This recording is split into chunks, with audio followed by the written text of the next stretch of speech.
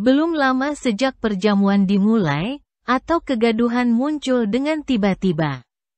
Ahtin, yang masih berada di dapur, datang sambil berlari-lari, tindakannya limbung, mukanya pucat. Terang ia sangat ketakutan. Ada setan, ada setan. Demikian suara menggetar dan tak lancar dari bujang itu. Setan muncul di sini. Katpo mencelat dari kursinya. Setan, ia berseru. Di mana dia ada? Ahtin tidak menjawab. Tapi ia kata pula, itulah setan si pembesar Bohan.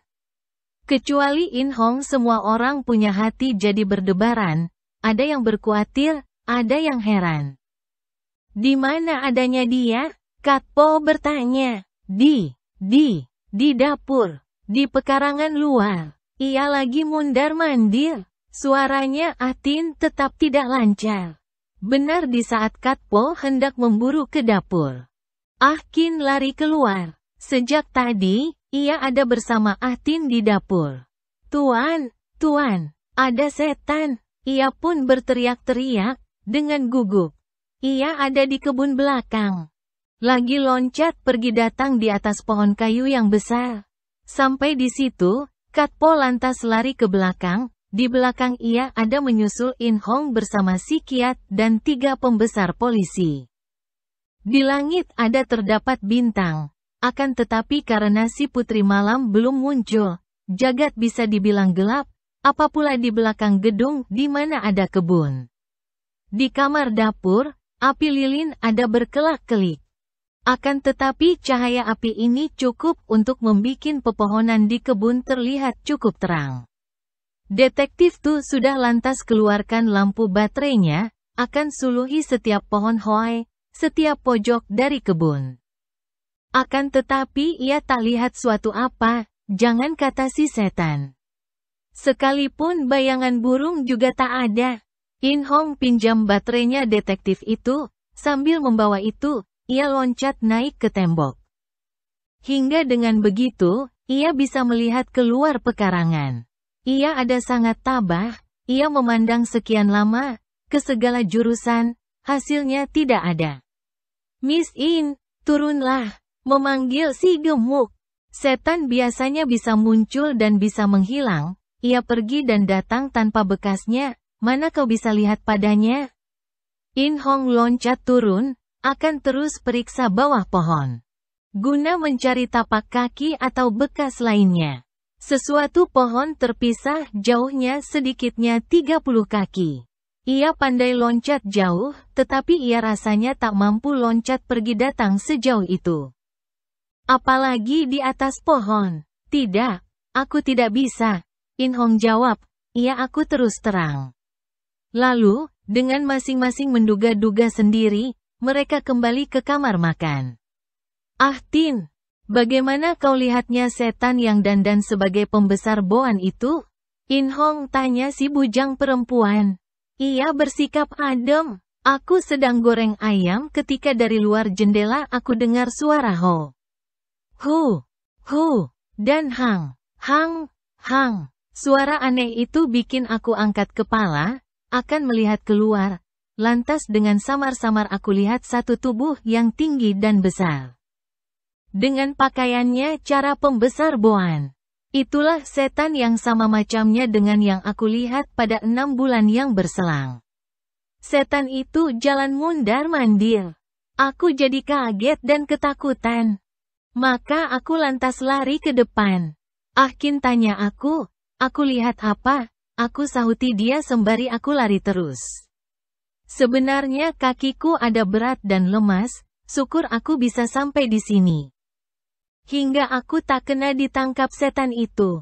Dan kau, Akin, bagaimana kau lihatnya setan pembesar Boan itu? In Hong tanya si bujang lelaki.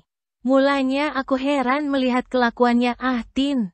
Setelah ia kasih tahu yang ia dapat lihat setan, aku pun segera memandang keluar jendela, Akin menjawab.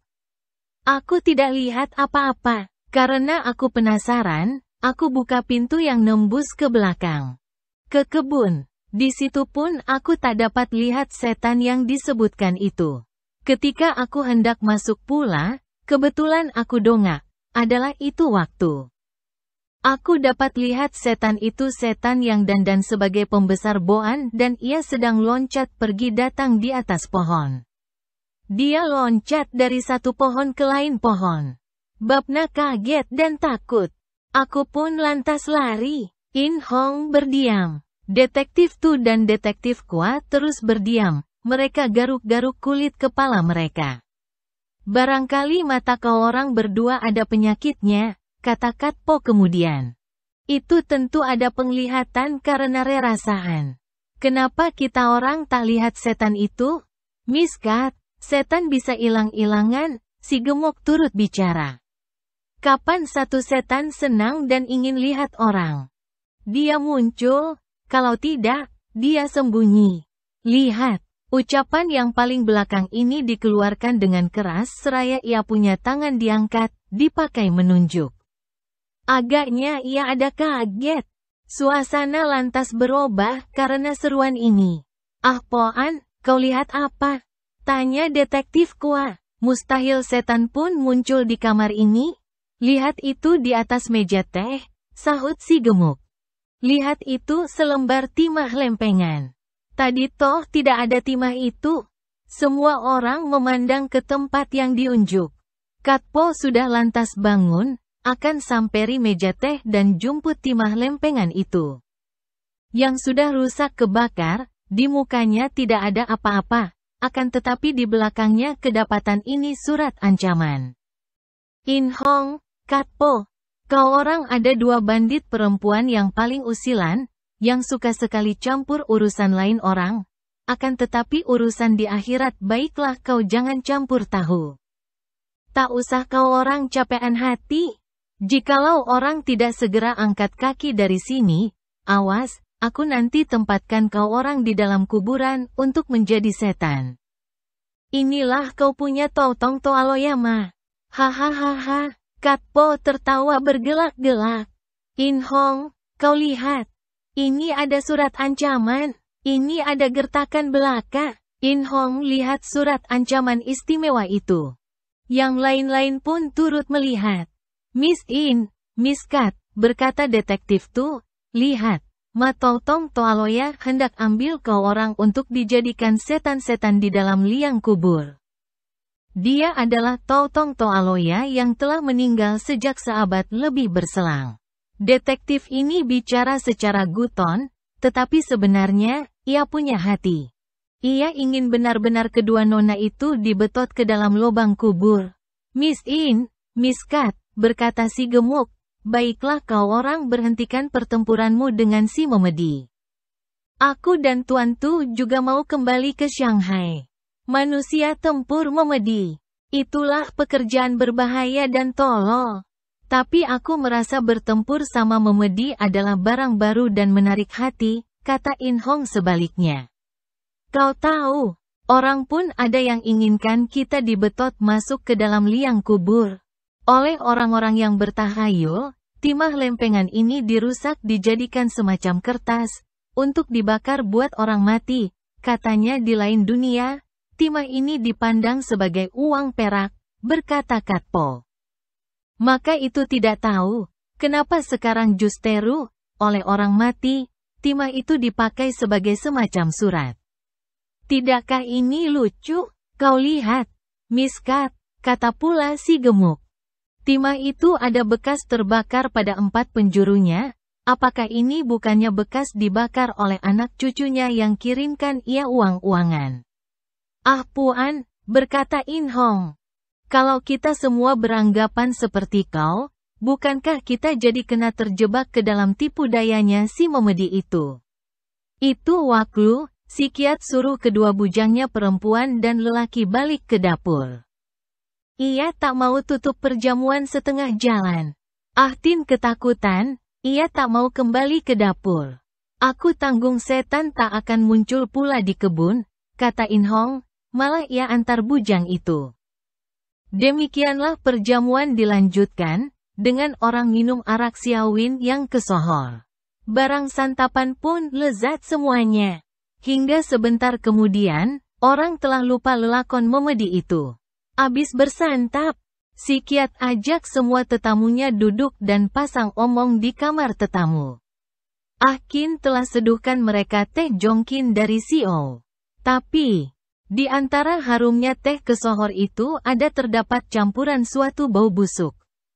Eh, bau apakah ini? Tanya Katpo, yang paling polos. Ia tak takut tuan rumah jadi tak senang. Apakah daun tehnya sudah busuk?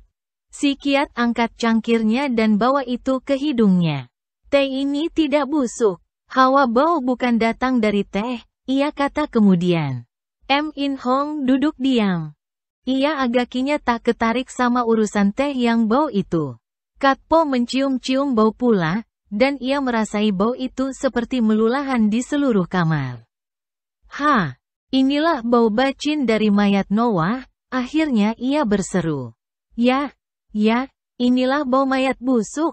Si gemuk pun berkata, pada enam bulan berselang, ketika Nyonya Han lenyap. Teng Hoi Kie yang pingsan di rimba pun telah dapat cium bau ini. Eh, eh, apakah kita pun bukannya hendak rubuh pingsan? Oh, oh, aku rasai kepalaku pusing dan berat, kakiku enteng. Aku ngantuk sekali. Setelah kata-katanya Katpo dan si gemuk, semua orang pun lantas dapat cium nyata bau mayat itu, dan mereka pun merasa lelah atau ngantuk. Oh, Tian, si gemuk ngeluh. Bau mayat ini adalah pelopornya memedi, ini adalah bau yang memedi bawah dan liang kubur. Dan ia nampaknya jadi jerih. Aku khawatir si memedi pembesar boan bakal muncul di kamar ini. Setiap orang ada lelah, mereka pada menyenderi kursinya masing-masing, mulut mereka pada menguap, mata mereka pada saling mengawasi. Dan semuanya lihat In Hong sudah ngelehek tidur di kursinya, matanya tertutup rapat. Katpo merasakan tubuhnya sangat lelah seperti orang lainnya, ia buka ia pun mata tetapi terus mesti tutup pula. In Hong, In Hong, In Hong, kita kembali mainkan lagu lama. Kata Katpo kemudian, suaranya lemah. Tapi ini adalah ia pun kata-kata rahasia, bahwa mereka telah terkena racun. Tapi In Hong berdiam. Tidak ada jawabannya. Ia agaknya telah tidur nyenyak sekali. Akhir-akhirnya, Katpo pun rebah pulas, ia tak ingat satu apa. Si Kiat berempat sama ketiga detektif pun seperti sudah tidur pulas. Meskipun mereka masih sedar, itu waktu Akin muncul, ia pergi ke jendela, yang kedua-duanya ia pentang, untuk mengasi masuk hawa udara segar. Hu, hu, hang, hang. Demikian suara aneh. Kedengaran masuk dari jendela, suara seperti masih jauh tapi lagi mendatangi. Si memedi pembesar Boan datang. Berseru si gemuk, ia kaget tetapi tak berdaya. Kekhawatirannya si gemuk tepat kepada Kuat Taeyong, kepada Tu Cian, kepada Han Sikiat juga. Malah mereka sampai gemetaran. Toh tubuh mereka ada sangat tidak bertenaga.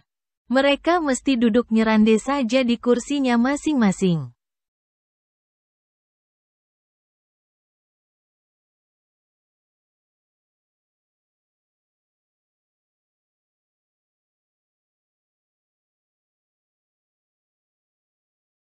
Di atas meja, lima batang lilin berkelap-kelip karena sambaran angin dingin yang menghembus masuk dari jendela.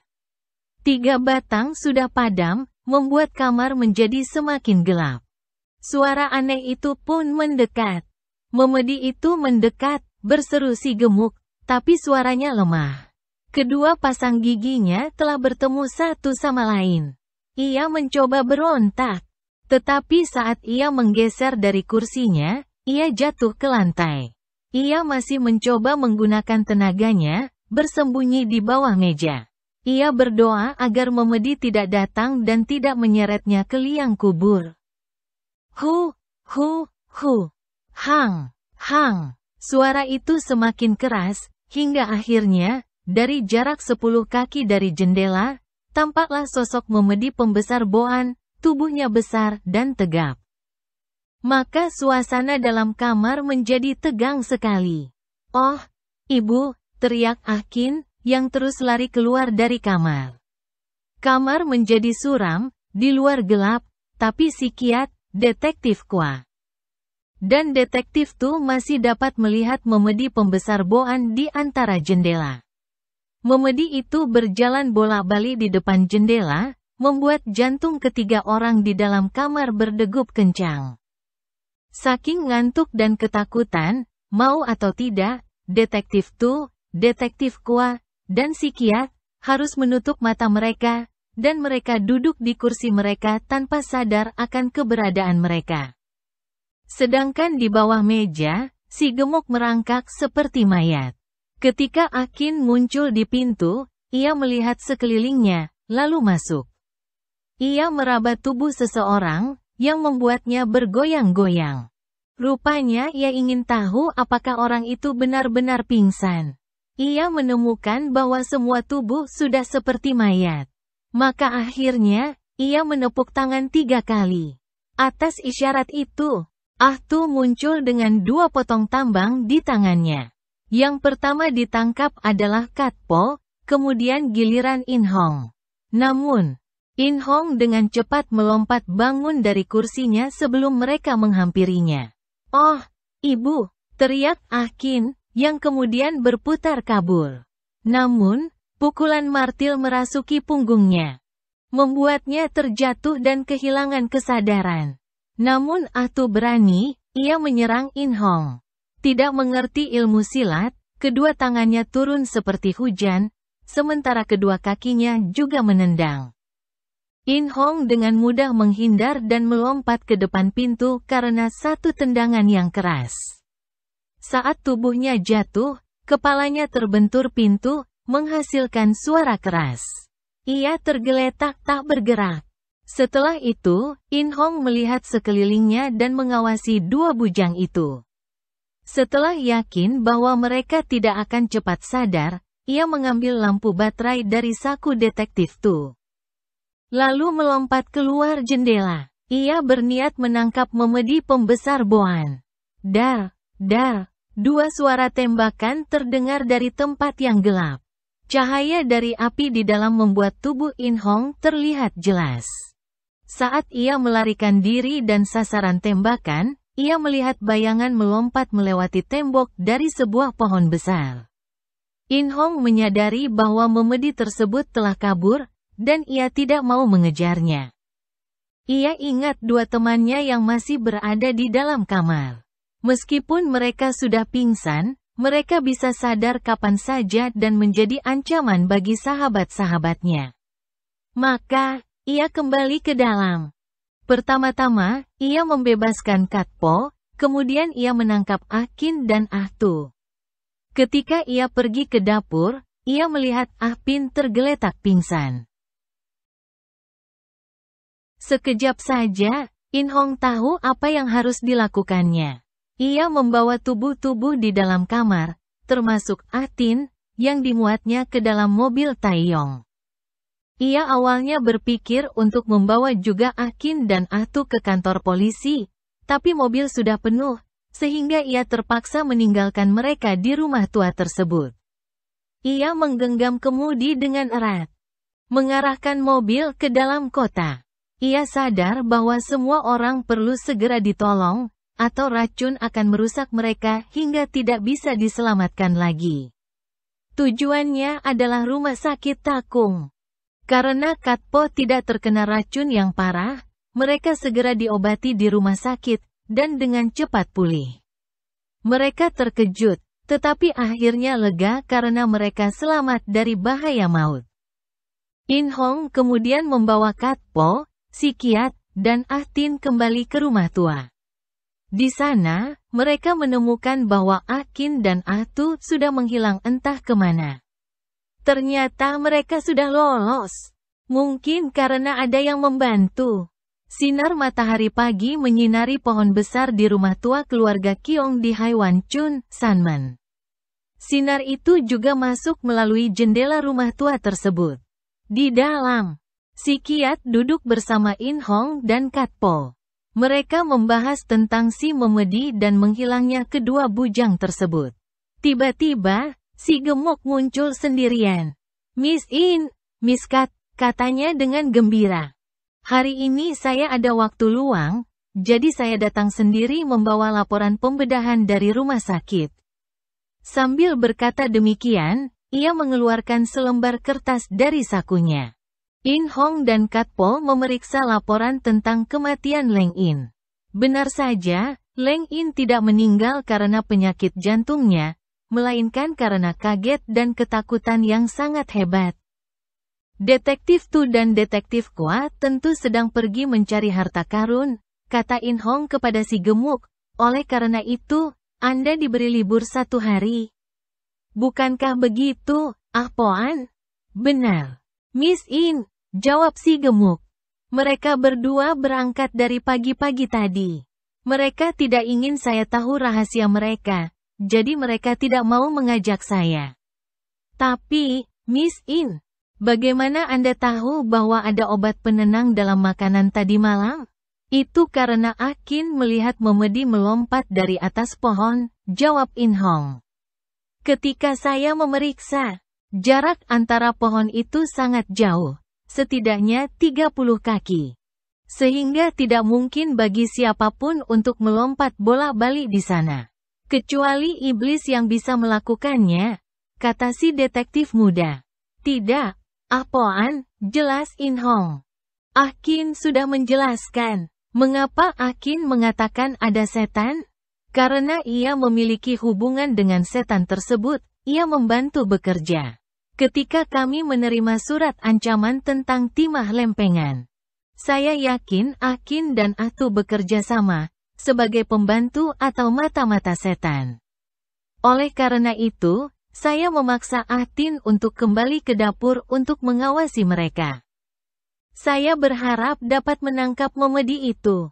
Ketika saya bersama Atin sampai di dapur, saya langsung memeriksa segala sesuatu di kamar itu. Saya kebetulan melihat botol kosong obat penenang di tumpukan kayu. Dari situlah saya tahu bahwa obat itu dicampurkan ke dalam makanan. Kapan obat itu dicampurkan? Padahal Atin ada di dapur, tanya si gemuk. Pada saat Atin melihat Memedi dan kabur ke depan. Saat itu hanya tinggal Akin sendirian. Akin tidak berada di depan pintu dan tidak melihat Memedi. Ia sibuk mencampurkan obat penenang itu. Mengapa Anda tidak memberitahu kami, agar kami tidak terjebak? Bukankah itu berbahaya? Tanya si gemuk. Karena ia menggunakan obat penenang. Saya tidak terlalu khawatir. Saya pikir tidak apa-apa jika Anda semua tidur sejenak, sehingga Anda bisa digunakan sebagai umpan untuk menarik keluar memedi. Saya sendiri pura-pura pingsan agar mereka bisa terus bekerja. Hanya saja Memedi itu sangat cerdik dan licik, ia hanya berkeliling di luar jendela untuk membuat kedua detektif percaya akan adanya setan. Agar mereka tidak memperpanjang penyelidikan tentang penculikan oleh setan tersebut.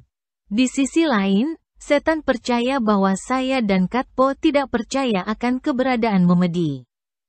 Sehingga ia menyuruh Akin dan Atu menangkap kita berdua, untuk menyingkirkan kita. Jika kita sudah mati, pakaian kita pasti akan dilemparkan di depan kuburan, untuk membingungkan semua orang. Sehingga mereka percaya bahwa kita mati di tangan Memedi. Jika kita mati, masalah akan selesai. Anda, detektif kuat. Dan detektif Tu tentu tidak akan melakukan penyelidikan lebih lanjut. Memang benar, detektif Tu dan detektif Kwa hanya bekerja untuk setan. Hanya harta karun yang membuat mereka berani, kata si gemuk.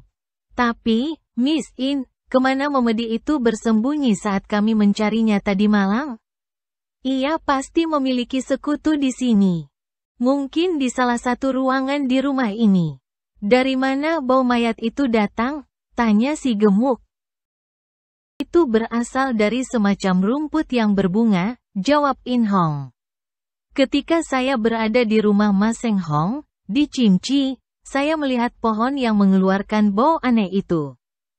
Bau itu dibawa oleh Akin saat ia menyajikan teh kepada kita, ia menyimpan bunga di sakunya.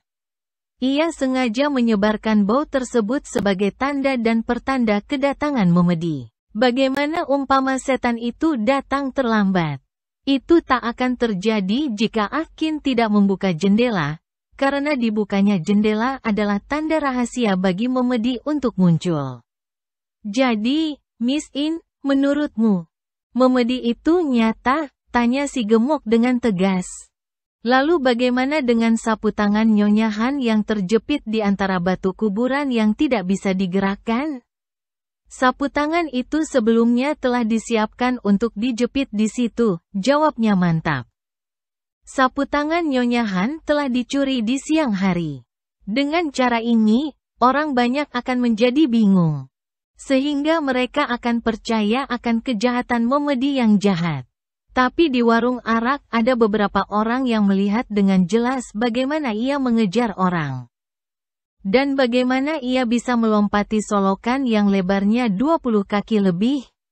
Itu pasti bukan perbuatan manusia, karena di situ tidak ada jembatan. Selain Nyonya Han dan Hiang Kat. Tidak ada orang lain yang menghilang di Haiwan Chun, balik bertanya In Hong. Maka orang yang dikepung oleh memedi itu adalah konco setan sendiri, ia pasti salah satu dari mereka, Akin atau Ahtu. Mereka pasti telah memasang papan di solokan itu untuk membuat orang banyak percaya bahwa mereka bisa melompati solokan yang lebar itu. Puaskah sekarang? Kenapa mereka memainkan trik memedi? Tanya Apoan sambil menggaruk-garuk kepala. Itu adalah soal sederhana. Karena Nyonya Han menghilang, polisi mulai menyelidiki kasus itu.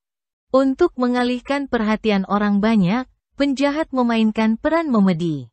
Jika memedi terlibat, polisi pasti akan berhenti melakukan penyelidikan sendiri.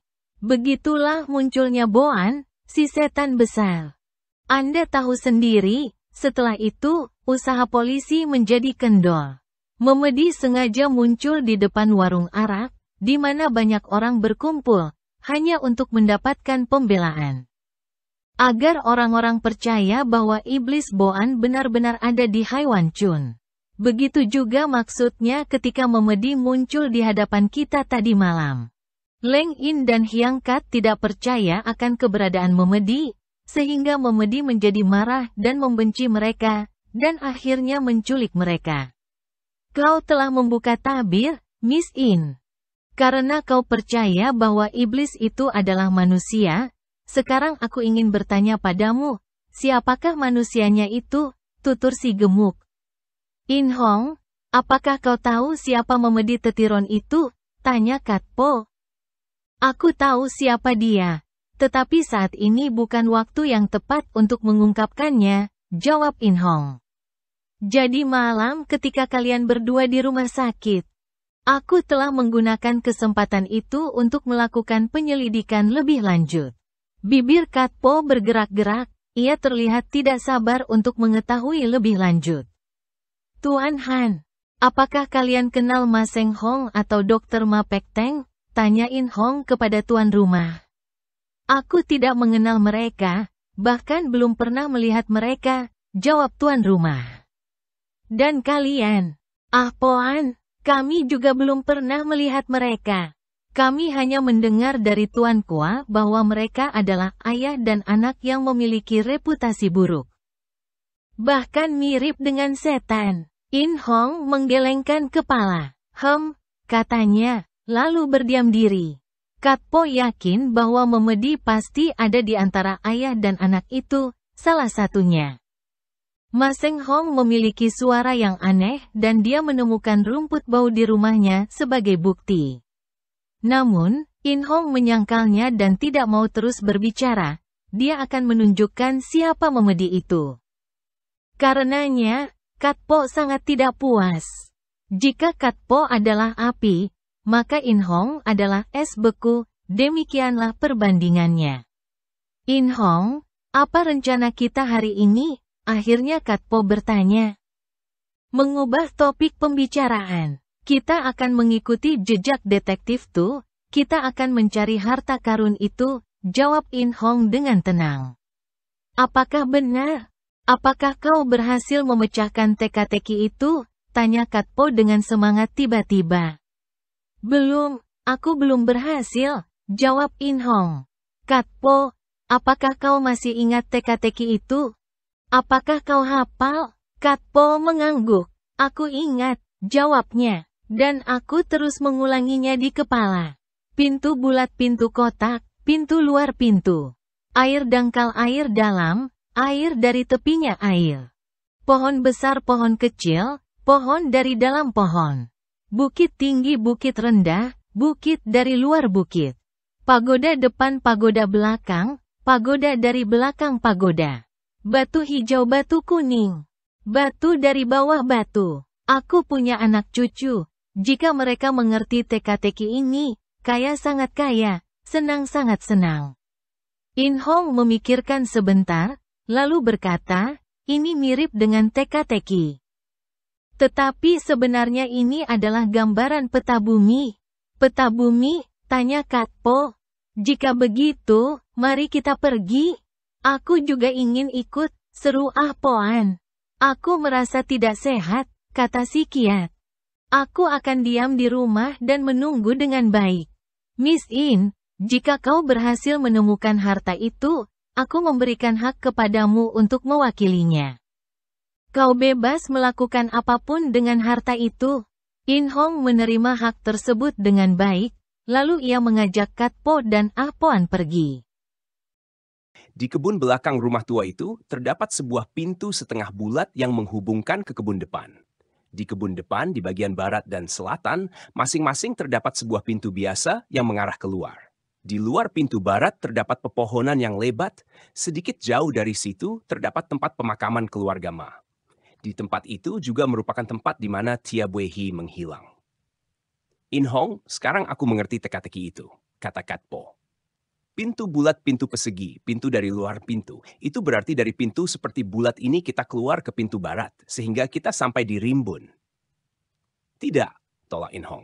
Enam bulan yang lalu, Tia Buehi keluar dari pintu ini, tetapi tidak menemukan hasil. Di luar pintu bulat dan pintu persegi masih ada satu pintu lagi. Jadi kita harus keluar dan mengambil pintu selatan. Mereka keluar melalui pintu selatan itu. Di sana tidak ada pintu lainnya. In Hong, kita masih kekurangan satu pintu. Ini tidak sesuai dengan garis pertama teka-teki itu, kata Katpo. In Hong memperhatikan sekitar pintu itu. Dia melihat sebuah parit kering dan sebuah jembatan kayu yang sudah tidak terpakai. Ketika gedung ini pertama kali dibangun, pasti ada pembangunan parit ini untuk melindungi gedung dan jembatannya. Karena adanya parit dan jembatan itu, pasti ada pembangunan pintu juga di sini. Namun karena sudah lama sekali, parit dan jembatan ini tidak digunakan lagi, sehingga pintunya juga hilang, jelas In Hong. Kita sudah sampai di luar dari pintu terluar, jadi kita harus maju dari sini, tambahnya. Tidak jauh dari parit itu ada sebuah sungai kecil. Kehadiran parit dan sungai ini sesuai dengan garis kedua. Air parit dangkal, air sungai dalam. Dan air dari tepinya adalah air. Itu berarti mereka harus berjalan di tepi sungai. Setelah mereka melewati jalanan di tepi sungai ini, mereka sampai di tempat yang rimbun dengan pepohonan. Dan ini sesuai dengan garis ketiga. Pohon besar, pohon kecil, pohon dari dalam pohon. Jadi mereka berjalan di dalam rimbun, tambah In Hong. Setelah beberapa lama, mereka melewati rimbun itu. Sekarang mereka kembali berada di padang rumput yang belukar. In Hong, kita tersesat, kata Catpo. Menurut garis keempat, setelah rimbun kita harus menemui bukit tinggi dan bukit rendah dan puncak kita tidak tersesat. Bantah In Hong. Lihatlah, ada banyak kuburan, ada yang tinggi dan rendah, ada yang besar dan kecil. Semua kuburan itu bisa menggantikan bukit dari garis keempat itu. Dan mereka berjalan di padang rumput di antara tanah-tanah kuburan yang juga lebat dengan gundukan tanah. Setelah beberapa jam, mereka melihat dua pagoda yang tidak terlalu tinggi, hampir roboh, bagian atasnya digunakan sebagai sarang burung, dan bagian bawahnya menjadi tempat perlindungan bagi binatang kecil. Kedua pagoda ini sesuai dengan garis kelima, kecuali di sebelah kiri dan kanan, tidak ada lagi pagoda lain. Itu artinya pada akhir garis itu, pagoda dari belakang pagoda. In Hong, di belakang pagoda ini pasti ada pagoda lainnya. Sekarang bagaimana? Tanya Kat Po, yang terlihat heran dan kecewa. In Hong tidak menjawab, hanya dia memeriksa sekitar tempat itu. Sedikit jauh, dia melihat sebuah kuil. Ayo kita pergi ke kuil itu dan lihat, katanya. In Hong, di belakang pagoda ini pasti ada pagoda lainnya. Bagaimana sekarang? Tanya Kat Po, yang merasa heran dan putus asa. In Hong tidak menjawab, hanya memeriksa sekitar tempat itu. Sedikit jauh, ia melihat sebuah kuil. Mari kita pergi ke kuil sana dan lihat, katanya. Barangkali kita akan menemukan sesuatu di sana. Lantas mereka mendekati kuil itu, sebuah struktur tua dan rusak, hanya tersisa temboknya saja yang sudah mulai runtuh dan rumputnya tinggi. Tandanya jarang atau tidak pernah ada orang yang datang ke sana. In Hong memperhatikan kedua pagoda dengan cermat, mencoba mengira-ngira letaknya. Dia tidak membuang waktu lama, segera melihat jejak dari sebuah pagoda yang sudah lama terbengkalai. Sekarang sesuai dengan garis kelima, ada pagoda dari belakang pagoda, ujarnya. Di sini ada semua pagoda, entah kapan runtuhnya. Sampai sekarang tersisa hanya dasarnya saja. Di sini hanya ada lahan kosong dan rumput. Tanya Ahpoan. Ini mudah, jawab In Hong, yang pikirannya terbuka. Kita cari lahan kosong yang rumputnya sering diinjak orang. Di sana kita pasti akan menemukan batu hijau dan batu kuning. Aku tidak mengerti, kata si gemuk. Karena si Memedi senang keluar dan berkelana, jelas In Hong, tempat-tempat di mana ada aktivitas keluar masuk atau berkelana, pasti akan ada jejak bekas sering diinjaknya. Berdasarkan penjelasan tersebut, mereka mulai mencari. Mereka tidak membuang banyak waktu. Di tempat yang sering dilalui, mereka menemukan sebuah panggung batu yang terbuat dari batu hijau dan batu kuning yang disusun bergantian. Panggung batu itu memiliki sisi berbentuk persegi, tingginya tiga kaki, dan lebarnya belasan kaki. Di antara celah-celah batu, In Hong menemukan sebuah lubang angin dan sebuah batu yang bisa digerakkan. Ketika dia mendorong batu itu dengan keras, tiba-tiba sebuah pintu batu rahasia terbuka. Kita menemukannya, seru Ahpoan dan Cat Po dengan gembira. Tapi hartanya sudah diangkut pergi oleh si Memedi Tetiron, kata In Hong dengan nada sedih. Lihat, dia telah membuat sistem keluar masuk yang canggih. Kuburan tua ini telah dijadikan sebagai semacam tempat tinggalnya. Ayo kita menyerang, kita harus menangkapnya, seru Katpo. Aku yakin dia sudah melarikan diri, kata In Hong. Tapi kita harus siap. Katpo, kamu menjaga pintu ini. Aku akan masuk bersama Ahpoan. Sambil memegang senjata api dinasnya, Ahpoan mengikuti langkah In Hong yang berjalan di depan. Mereka masuk ke pintu dan mulai turun tangga. Panggung batu kuburan setinggi tiga kaki itu terpasang dengan rapi. Tangga itu memiliki belasan undakan. Di bawah ada jalanan sempit. In Hong harus menggunakan baterai untuk menerangi tempat itu. Di kedua sisinya, tembok terbuat dari batu. Setelah sampai di ujung jalanan, mereka beralih ke jalur lain yang membawa mereka ke ruangan yang agak indah. In Hong memeriksa sekitarnya dan menemukan sebuah pintu besi yang sedang dibuka naik. Dengan lampu baterai, In Hong memeriksa kamar tersebut. Dia menemukan sebuah tempat tidur dengan meja dan perabot rumah tangga modern lainnya. Sepertinya itu adalah sebuah kamar tidur, tapi tidak ada tanda-tanda penghuni. Bahkan bayangan pun tidak ada. Bersama-sama dengan si gemuk, In Hong masuk ke dalam kamar tersebut. Di atas meja terdapat sepotong sapu tangan yang dihias dengan huruf Buehi dan beberapa butir tablet penenang. Ah, Poon, Buehi pasti menderita di sini selama enam bulan, kata In Hong. Di mana Buehi sekarang? Tanya Ah Poon. Dia pasti dipindahkan ke tempat lain. Atau mungkin dia sudah disiksa, jawab In Hong dengan nada prihatin. Mungkin dia sudah melarikan diri, kata Apoan. Tapi kita harus siap. Katpo, kau menjaga pintu ini, kuak masuk In Hong. Bersama-sama, Gemuk dan In Hong memasuki kamar tersebut. Di atas meja rias, terdapat sepotong sapu tangan yang disulam dengan dua huruf BWH serta beberapa butir tablet untuk menenangkan asabat. Ini kamar tempat Bewehi harus mengeram selama enam bulan, kata In Hong dengan nada sedih. Dia menjadi tawanan yang menderita di sini. Di mana Bewehi sekarang? Tanya gemuk. Dia pasti sudah dipindahkan ke tempat lain atau bahkan mungkin telah disiksa, jawab In Hong dengan nada khawatir. Mungkin mereka dibunuh agar tidak membocorkan rahasia, tambah gemuk. Mereka pasti tahu terlalu banyak. Mereka meninggalkan kamar tersebut dan mendekati sebuah pintu besi lainnya. Pintu ini terbuka dengan mudah. dan di dalamnya terdapat dua peti mati dan berbagai perlengkapan sembahyang.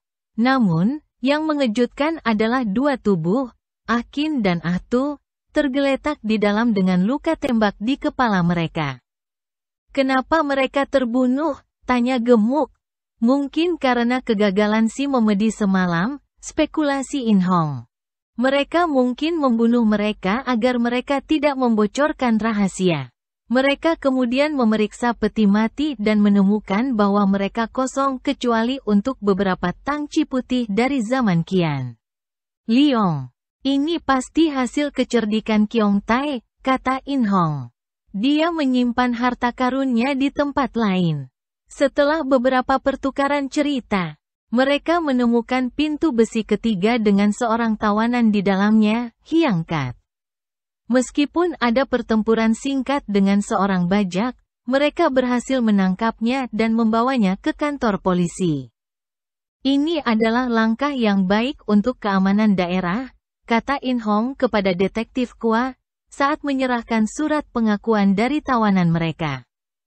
Saya harap Anda dapat menyelidiki lebih lanjut dan menegakkan hukum seadil-adilnya.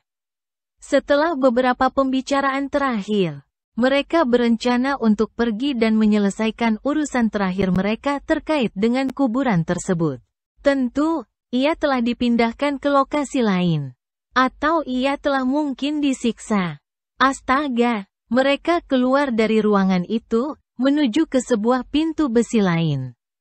Pintu ini mudah dibuka. Di dalamnya, ada sebuah kamar dengan dua peti mati dan berbagai perabotan sembahyang. Yang menghebohkan, ada dua mayat terbaring di sana, yaitu Akin dan Atu, keduanya terkena tembakan di kepala. Mereka adalah teman si penjaga, mengapa mereka dibunuh? Tanya si gemuk, mungkin disebabkan oleh kegagalan si penjaga semalam. Dia mungkin merasa tidak aman berada di kuburan ini lebih lama lagi dan khawatir kedua orang itu akan membocorkan rahasia, jadi mereka dibunuh untuk membungkam mereka. Mereka pasti tahu banyak rahasia. Dua peti ini mungkin berisi jenazah Kiong Tai dan istrinya, kata Ah Poan. Kiong Tai adalah seorang pemikir dari Ong Tek Lok yang telah menekan bajak-bajak di daerah ini. In Hong mendekati kedua peti untuk memeriksanya. Dia melihat bekas tanda bahwa peti itu pernah dibuka. Dan keduanya kosong. Dia menggelengkan kepala. Bukan, Apoan, kedua peti ini bukanlah tempat untuk jenazah, katanya. Aku percaya ini adalah hasil dari kecerdikan Kiong Tai. Ketika dia membuat kuburan ini, dia mungkin berpikir bahwa dia akan beristirahat dengan tenang di sini setelah mati, tapi kemudian, dia mengubah pikirannya. Dia menyadari bahwa kekayaan bisa menjadi akar bencana, jadi dia memutuskan untuk menyimpan semua kekayaannya, yang dia dapatkan setelah menindas bajak-bajak, di sini. Jadi, Miss In, apakah Anda pikir peti ini adalah tempat penyimpanan harta karun itu? Pasti benar, In Hong menjawab. Tetapi sekarang, harta itu tidak ada di dalam peti mati ini lagi. Ah Poan membuka tutup peti. Merasa lega, dan kemudian membukanya. Benar saja, peti itu kosong, kecuali untuk tumpukan uang kertas putih dari dinasti Qian Liong. Ternyata dugaanku tidak meleset, kata In Hong. Kedua peti ini digunakan untuk menyimpan berlian, permata, dan emas, yang ditutupi dengan uang kertas. Ketika si penjaga menemukan harta itu, dia membawanya pergi, dan meninggalkan uang kertas ini. Kemudian, In Hong melanjutkan penyelidikannya, menuju ke pojok di mana ada pintu besi ketiga. Pintu itu terkunci, dan ada sepotong golok yang menindih di bawahnya. Ah Poan mencoba mengangkat pintu itu, tapi sia-sia, karena terlalu berat. In Hong mencoba membantunya, tetapi tetap saja sia-sia. Sementara mereka berusaha mengangkat pintu. Mereka mendengar suara seseorang menggerutu dari dalam, awalnya tidak jelas, tetapi kemudian jelas, pergi kalian, kumpulan manusia jahat. Kalian tidak akan bisa mengangkat pintu ini. Itu Hiang Kat, seru In Hong. Dia mengenal suara teman lama itu. Untuk kali ini, dia tidak bisa menyembunyikan kegembiraannya. Hiang Kat, Hiang Kat. Inilah aku, In Hong. In Hong, In Hong. Ada jawaban dari dalam, suara Hiang Kat. Hiang Kat, buka pintu. Tetapi, In Hong menunggu begitu lama, tetapi pintu tidak terangkat. Hiang Kat, buka pintu. Apakah kalian tidak bisa membuka pintu itu? Mengapa? Aku sedang mencoba, sahut Hiang Kat. In Hong menunggu lagi, dan akhirnya, pintu terbuka perlahan-lahan. Kemudian, In Hong dan Ah Poan membantu membuka pintu itu. Oh, In Hong, kata Hiang Kat, dengan napas lega. Hari demi hari, aku menunggumu. Aku benar-benar percaya bahwa suatu hari kau pasti datang. Hiang Kat, Hiang Kat, kata In Hong, bersuka cita saat melihat temannya keluar dari dalam kamar, wajahnya lelah dan pucat. Napasnya terengah-engah sedikit. Anda telah ditawan dan terkurung di kuburan ini selama enam atau tujuh hari, kata In Hong. Miss Hiang, Bagaimana pengalamanmu? Mengapa kau ditawan? Tanya Ah Poan. Entah apa yang digunakan oleh si penjaga, tetapi dia membuatku pingsan, kata Hyang Kat. Dalam keadaan tidak sadar, dia membawaku ke dalam kuburan ini. Kau naik kapal bersama Leng In, kalian berencana pergi ke Haimen, mengapa kalian mendarat di Sanmen? Tanya In Hong. Itu karena kami dikejar oleh bajak, Jawab Hyang Kat, yang kemudian menceritakan pengalamannya hingga dia berhasil meloloskan diri dari penjagaan si penjaga. Cara apa yang kau gunakan untuk menghalangi pintu? Tanya Ah Poan. Aku sendiri, bersama mereka bertiga, aku tahu aku tidak bisa bertahan lama melawan mereka untuk memaksa membuka pintu. Untungnya, dalam saat bahaya itu, aku punya ide. Aku ingat ada Ciak Tai. Aku menggunakan itu untuk menjepit pintu, sehingga pintu tidak bisa dibuka atau ditutup. Kalau tidak, aku pasti akan terbunuh oleh mereka. Selama enam atau tujuh hari, apa yang kalian makan untuk bertahan dari kelaparan? Mereka berpura-pura mengejar orang-orang yang melewati kuburan. Dan mereka menyimpan bungkusannya di dalam kamar ini. Ini adalah kamar tamu. Ketika aku memeriksanya, aku menemukan berbagai macam makanan kalengan, biskuit, bir, serta perlengkapan rias, obat-obatan, majalah, dan buku cerita. Di antaranya, ada juga potret seorang wanita. Seorang wanita tua dengan rambut kusut dan uban, berpakaian sederhana, mendekati sebuah rumah atau villa di luar kota utara Shanghai. Dia terus menekan bel, seorang pria muda yang besar dan tinggi. Berpakaian gaya barat, membuka pintu dengan ekspresi heran dan bercahaya, memperhatikan wanita itu. Siapa kamu? Tanyanya dengan keras. Kamu tidak perlu tahu siapa aku. Aku ingin berbicara denganmu, Jawab wanita tua itu dengan suara lemah, meskipun dia mengancam dengan seorang revolver yang diarahkan ke tuan rumah. Apakah kamu akan mengizinkanku masuk ke villa ini untuk duduk-duduk? Silakan, kata si pemuda dengan terpaksa, memperhatikan senjata api yang dimasukkan ke dalam sakunya. Tanpa ragu, wanita itu duduk di kursi di ruang tamu. Silakan duduk, kata tuan rumahnya. Pria muda itu mengenakan jas dengan dua potong rantai emas yang terikat di kancingnya. Yang tampaknya menyimpan barang-barang berharga. Tapi, dia tidak berniat duduk sampai dia dipaksa dengan ancaman revolver. Lama sudah kau tinggal di dusun di Sanmen dan baru-baru ini kau kembali ke Shanghai dengan, kata wanita tua itu, suaranya memudar. Kamu mengatakan apa? Tanya si pemuda. Kau tidak mengerti yang aku katakan, kata wanita tua itu. Tapi kau pasti mengerti teka-teki warisan dari Han Tia Bewehi. Teka-teki itu mungkin sulit dimengerti oleh orang lain. Tetapi kau bisa memahaminya. Itu adalah peta lukisan, yang membuatmu bisa menemukan harta besar yang disembunyikan oleh keluarga itu. Tak lama setelah kematian ayah besar Nyonya Han, kau menemukan harta itu. Kau bahkan melihat makam khusus itu, dan kemudian kau mendapatkan ide yang sama. Kau mengatur pesawat untuk masuk dan keluar dari hawa udara. Dan kau menggunakan makam itu sebagai ruangan rahasia, kamu ingin menemukan Bewehi tapi gagal, dan kamu iri melihat kebahagiaan Bewehi dan suaminya, yang hidup bahagia. Ketika Bewehi pergi ke Haiwan Chun, kamu mengikutinya ke sana. Kamu telah merencanakan semuanya dengan cermat. Kamu menyamar sebagai setan pembesar Boan. Menculik Bewehi dan membawanya ke liang kubur untuk memaksanya berbicara di sana. Kamu memiliki rumah khusus yang kamu persiapkan untuk BWH. Dan kemudian, kamu terus bermain sandiwara.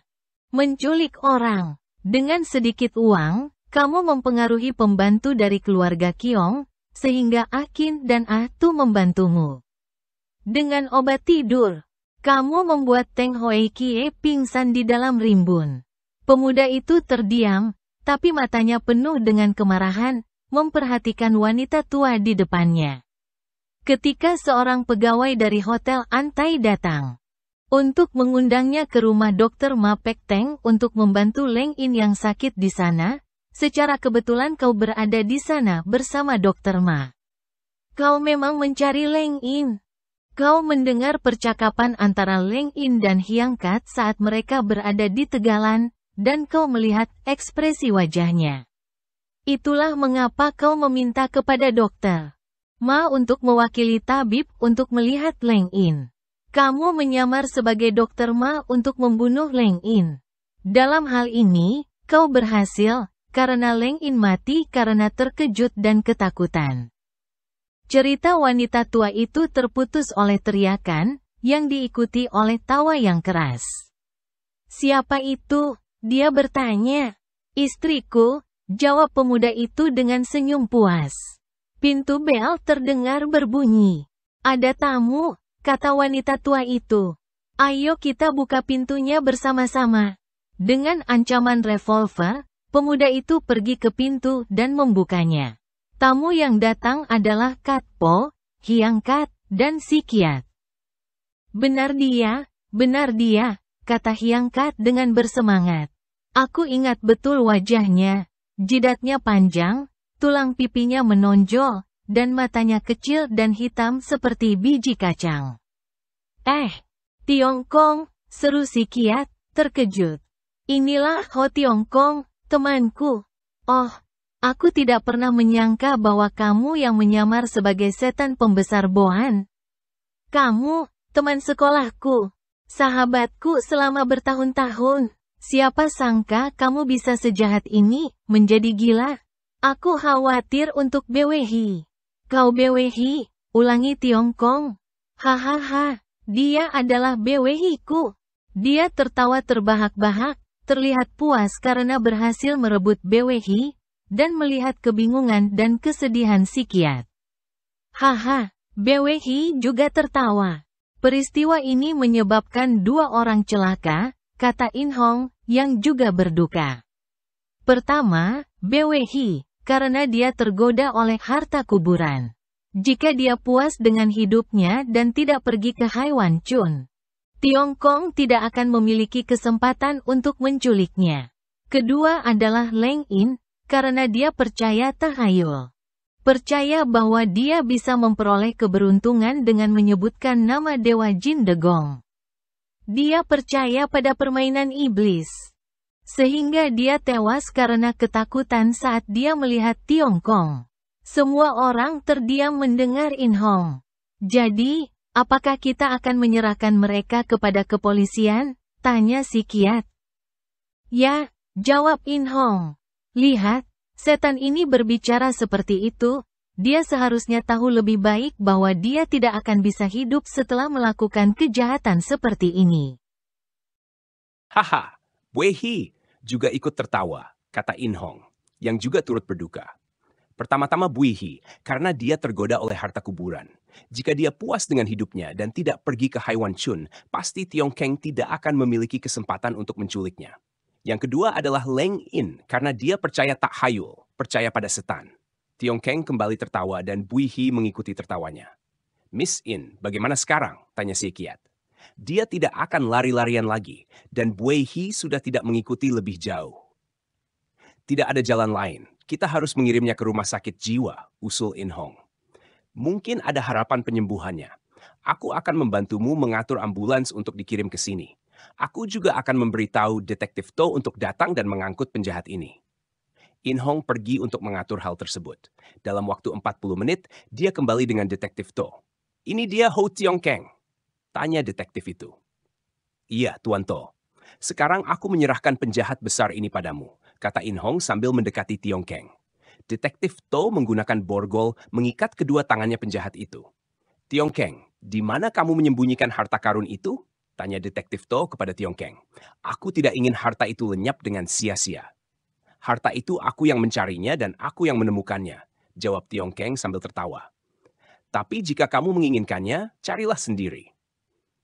Tidak usah mencarinya. Harta itu ada dalam sakunya sendiri. Tiba-tiba Bu Ihi berkomentar. Dia telah mencurinya dariku dan aku tidak akan membiarkannya begitu saja. Tuan To, kata si Kiat, jika kamu menemukan harta itu, aku tidak menginginkannya lagi. Kamu bisa menyumbangkannya kepada badan amal. Harta itu bukan milik pribadi, harus disita untuk negara, kata detektif itu.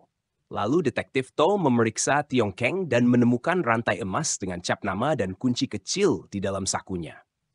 Aku mengerti sekarang, kata detektif itu dengan senang. Tiong Keng menukar semua barang berharga menjadi surat berharga dan uang asing dan menyimpannya di bank. Dia mengambil cap dan kunci, lalu membawa Tiong Keng keluar, siap untuk membawanya ke kantor polisi. Tak lama setelah detektif To pergi, mobil rumah sakit tiba untuk membawa Buehi pergi si Kiat ikut serta untuk mengantarkannya. In Hong kemudian mengajak Kat Po dan Hiang Kat meninggalkan villa menuju rumah mereka sendiri di Hung Yao Road. Tidak lama setelah mereka sampai di rumah, detektif To muncul dengan wajah murung, diikuti oleh si gemuk. In Hong, kau! Detektif itu terdiam saat melihat In Hong. Aku? Apa yang terjadi padaku? Tanya In Hong tetapi dengan tenang. Kau mencuri semua isinya dari brankas, teriak To GN. Oh tidak, aku tidak pernah mencuri harta itu. Mungkin orang lain.